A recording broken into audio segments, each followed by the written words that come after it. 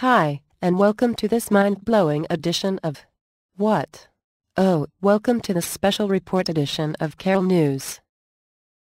Scientists at the Institute for Infectious Diseases and Runny Noses in Middletown, and who have been working around the clock researching the recent pandemic scare, have discovered that people who have used the cloth roll towel dispenser found in gas station restrooms in the 60s and 70s are probably immune to pretty much everything.